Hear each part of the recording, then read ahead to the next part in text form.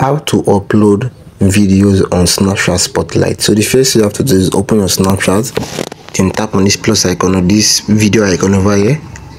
As you can see it's going to enter this page right here then tap on the plus icon at the top edge over here. As you can see tap on you can see upload a video create a video. This video is talking about upload a video right here and tap on upload. As you can see it's going to take you to a page like this as you can see your camera roll your memories everything then after this scroll down and tap on video right here. If you just use a video like this right here as you can see it's going to load up right here. Then tap on this icon over here then tap on review. As you can see then tap on send right here.